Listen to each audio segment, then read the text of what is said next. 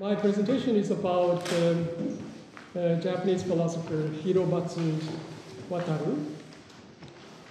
Hiromatsu Wataru, uh, a Marxist philosopher in late 20th century Japan, introduced a pair of concepts. This pair of concepts, valid and prevalent.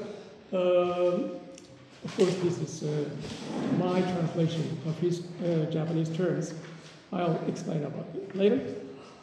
Uh, those uh, pair of concepts um, are a key juncture, juncture uh, of his philosophical thought. Hiromatsu's argument on valid values and prevalent values serves as a crucial link connecting his philosophical theory to social practice, the dimension of social practice, especially practice aiming at revolutionary social change. I first outline Hiromatsu's argument and then critically examine that argument, uh, specifically his point that valid, valid values are justified by their becoming prevalent. First, uh, an outline. The basic motif of Hiromatsu's philosophy is a critique of the modern worldview, which he characterizes as ontologically substantialist and epistemologically bound by the subject object schema.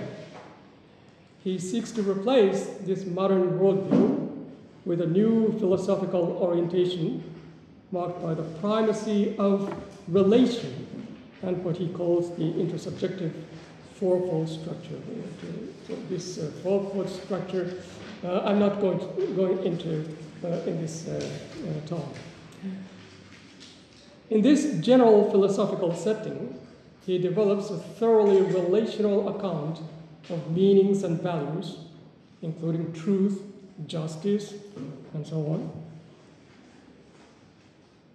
He criticizes the refined notion that meanings and values exist independently uh, in themselves. And he argues that they, those meanings and so on, exist only as relational intersubjective moments of phenomena. Since intersubjectivity develops and changes historically and socially, it follows that meanings and values are historically and socially relative.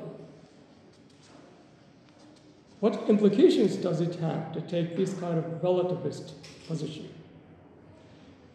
In an early work, Hiromatsu argues as follows If we recognize the values that are actually intersubjectively shared among people, and if we accept them as our own norms, then we will have a consistent system with no discrepancy between facts and norms. This is the case if someone says, for example, although uh, this is not an example, example given by Hiromatsu himself, that the, the emperor system in Japan should be maintained because this system is actually supported by many people. Hiromatsu rejects this kind of approach, however, saying that it is nothing other than a conservative affirmation of the status quo. Yet, he continues, quote, if we seek to find our norms elsewhere, we could run the risk of a metaphysical dogmatism, unquote.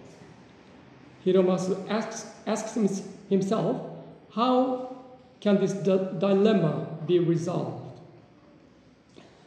In an effort to overcome this dilemma, Hiromatsu later developed his ideas of what he calls valid and prevalent, mainly in these works um, indicated here. Let's start with his argument on valid truth and prevalent truth. He introduces a quasi-Kantian distinction. Quote, valid, datoteki, gültig in German. Valid truth is truth asserted as a matter of right, or quid juris or juris. While prevalent 通用的原点 truth is truth commonly accepted as a matter of fact or quid facti. In this way, valid truth is defined from the point of view of the person involved, while pre prevalent, value, uh, prevalent truth is defined from a third par party point of view. For example, in 17th century Europe, when the geocentric view of the universe was still prevalent, Galileo and others advocated the heliocentric view as a valid truth. Valid truth is usually considered as the agreement between the judgment and the objective fact. Hiromatsu rejects, however, this conventional notion of truth as correspondence or adequate, adequation based on the subject object schema and instead presents a view of truth as inter- intersubjective validity. According to Hiromatsu, quote, a valid truth is justified depending on the factual question of whether it actually has an intersubjective conformity. This is not to say, however, that valid truth is simply reduced to prevalent truth. Rather, while retaining the distinction of valid and prevalent, Hiromatsu tries to relate the two as follows. Sometimes a truth asserted by a minority or an individual through dialogical interaction between people becomes accepted by others and dynamically leads to the formation of an intersubjective system of truth. In this way, Hiromatsu claims, quote, a valid truth must show itself as a truth capable of being prevalent and must become a prevalent truth. Hiromatsu's argument so far on valid and prevalent truth is basically extended to all kinds of values. So for Hiromatsu, truth is just uh, one kind of value. Uh, value. So uh, that means the validity of practical values is also their intersubjective validity and can only be judged depending on whether, uh, quote, whether intersubjective, intersubjective conformity or congruity is actually established as a matter of fact. Toward the end of the second volume of Being and Meaning, uh, his uh, uh, most important uh, major uh, book, he remarks the following. you, you have the, the quotation here. Insofar as we cannot accept a prevalent value, we contest the prevalent value and instead assert a valid value. The assertion of the valid value since it is for the time being devoid of intersubjective universality, is treated as a minority or heretical view by those supporting the prevalent value. However, we strive practically to make the value we are certain into an intersubjective, intersubjectively uniform, that is, a prevalent value. Furthermore, this effort does not limit itself itself to a merely theoretical struggle, but rather aims at a revolutionary change of the actual historical and historic uh, social system. In this way, starting from within, yet moving beyond the framework of his philosophical theory, he argues for making valid values prevalent and seeks to connect this point to the practical task of social changes. But in, in, in, this context, he doesn't go into a concrete um, political um, uh, strategies or tactics uh, um, for um, social revolution. Uh, he, he, he does uh, discuss uh, those kinds of issues in, in other um, works more practically oriented words. Uh, for Marxist philosopher Hiromatsu, his argument on valid and uh, prevalent thus co- constitutes a crucial link connecting, connecting his philosophical theory to the dimension of social, you know, social revolutionary practice. However, there remains the question of whether this argument uh, is okay, holds good. In what follows, I will critically examine this argument uh, with a focus on his point, central point, that valued values are justified, they are becoming prevalent. So, uh, a critical analysis. Uh, let me start by noting that when Hiromatsu discusses valid and prevalent values, two different, different conceptual dimensions tacitly overlap without being clearly analyzed. First, one of the dimensions concerns the quantity or number of those who assert or support values. In this dimension, the distinction between valued and uh, prevalent, uh, prevalent corresponds to the difference between individuality or particularity on the one, on the one hand and generality on the other.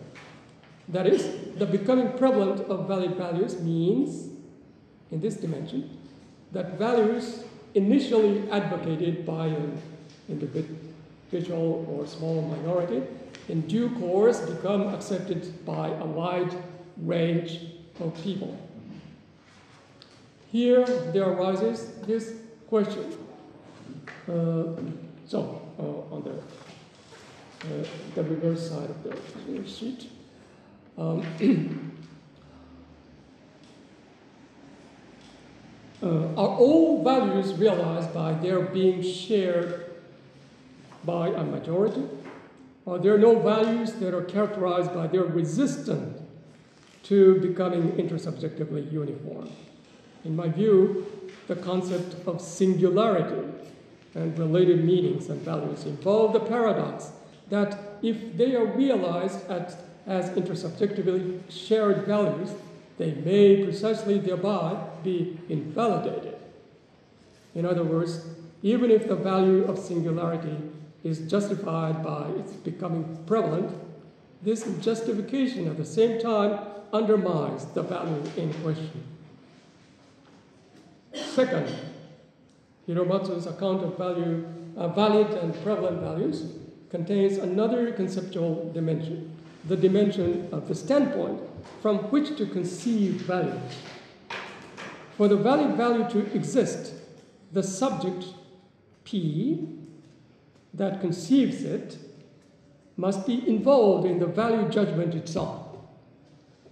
Insofar as the subject concerns the question of right of the value, it must practically engage with the value itself.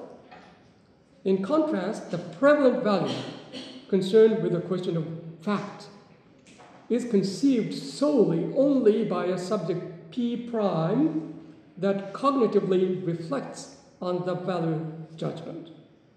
This reflective subject, P prime, does not practically participate in the ju value judgment itself, but is only aware of the fact that the value is asserted by uh, a certain subject or subjects. The prevalent value is a value thus cognitively objectified, that is, made a mere object of knowledge. This being the case, the becoming prevalent of the valid value involves not only its becoming intersubjectively uniform as seen above, but also a change in the standpoint from which to conceive the value, and thereby a transformation of the value into a value free cognitive object. Value free quotation marks. Uh, this puts in question Hiromatsu's point that the valued value is justified by and only by becoming prevalent. If the concept of justification presupposes the existence or subsistence of that which is justified, the valid value cannot be justified by its becoming prevalent.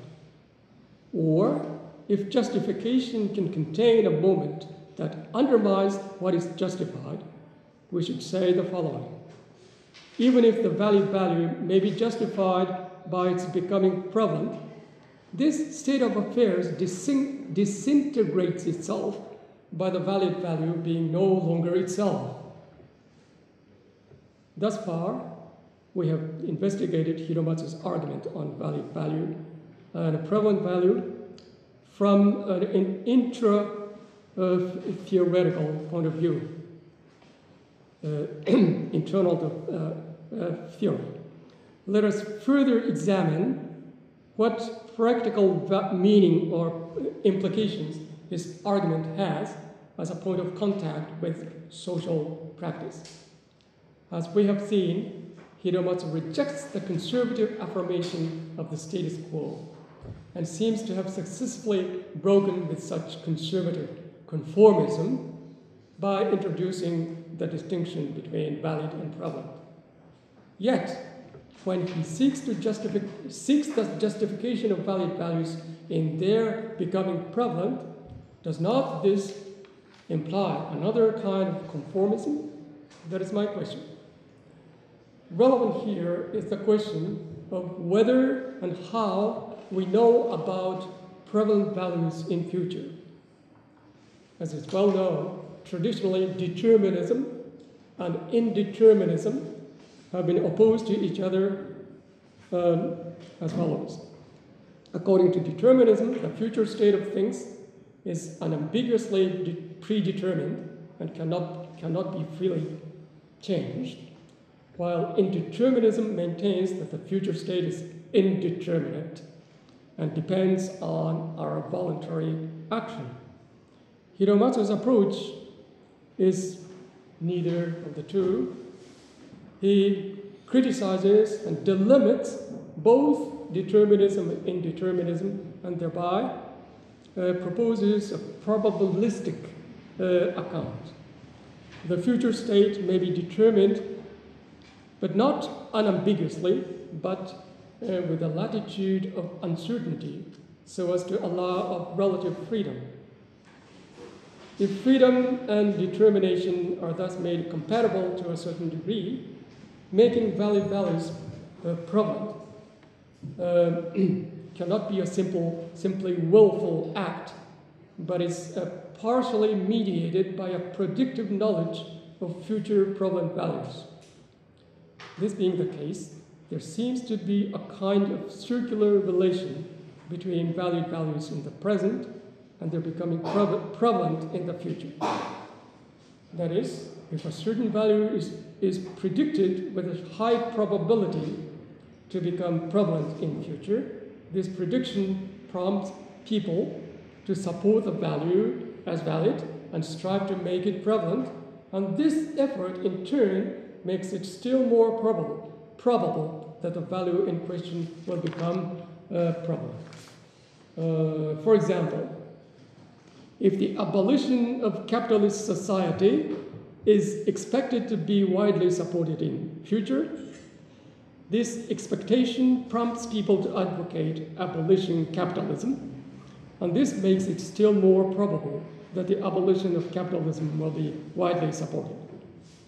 This temporalized circular stru structure may be considered a conformism in which the relation to the future, instead of to the present, the relation to the future plays a, an important role.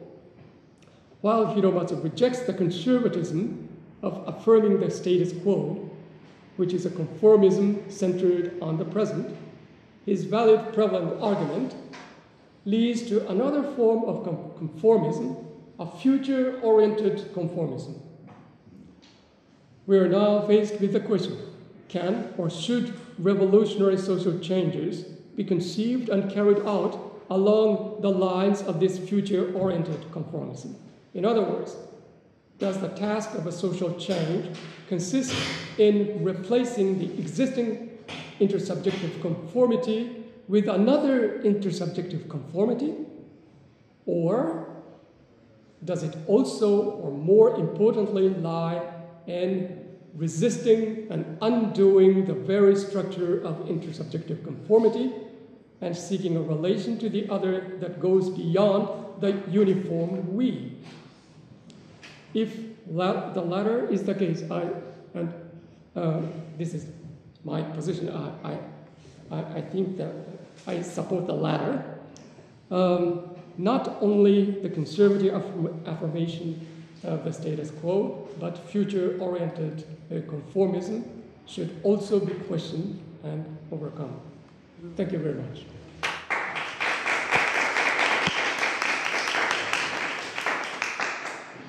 Euh, euh, cette, euh, ah, euh, très belle, euh, beau résumé via Mathieu des conceptions de rupture et de continuité, entre autres. hein. je pense que ça, touche à- ça touche également à cette question-là. Uh, so maybe uh, one or two questions, uh, and if possible short, because we're running out of time. As usual. Yes. Yes. Uh, One short uh, question. If you can clarify uh, the meaning of uh, relative freedom that you use. Uh-huh. And uh, the second one, uh, you have to think about uh, maybe this, uh, the, the proposal of uh, go beyond the uniform we will be uh, being uh, against this uh, idea of a common good that finally common good Mhm. or common will Mhm. that justify uh, national politics. So this we, this we that sometimes is hidden in this idea of uh, the common good. Mm-hmm. And Mhm. that's it. And thank you for your presentation. Thank you. Um, thank you. Um, so, uh, uh, uh, to the first question, um, so I would say, um, uh, so this is a, uh, um, uh, relative freedom uh, is a um, that uh, that term appears in uh, my explanation of uh, uh, um, Hiromatsu's uh, uh, view. Um, um, in um,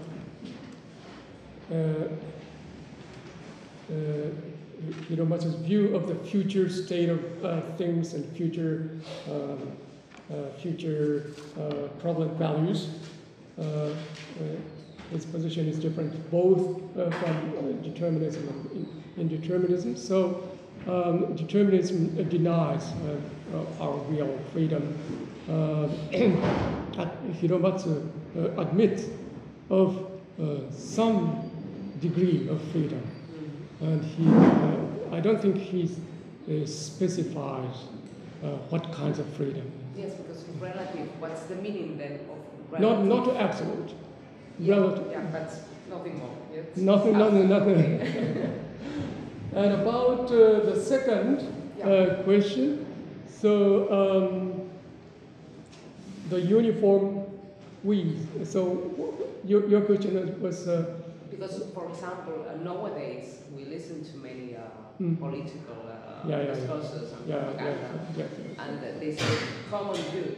Common good is equal to we or. Mm, mm. So my question is that uh, uh, in this case, uh, do you do you agree with the fact that sometimes with this common good equal to we uh, is uh, being used to fight, in fact, uh, Mm. this uh, Mm, mm. intersubjective Mm. conformity? Hmm. Um, uh, I, I, I'm not sure. Uh, uh, I, I'm not sure about the meaning of the common good uh, itself, so uh, I can't say it's, much. it's, it's, you know, in, in some uh, political Mm, discussions, mm, yes, mm, the, mm, mm, mm. we share or we will will have to so- be in accordance with this uh, Mhm. common good as a Mhm. political uh, Mhm. telos, if you Yeah. want. Yeah. Yeah. So, So- uh, so that i- i- in that sense, uh, that term is uh, used uh, uh, in international context as well in the national, context. Yeah.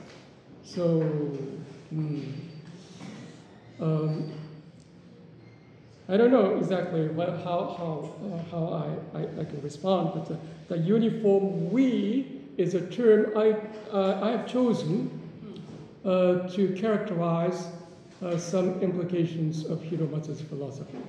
So he, his position uh, seems to me to uh, be in the direction of enforcing, uh, um, reinforcing uh, the notion of the uniform we.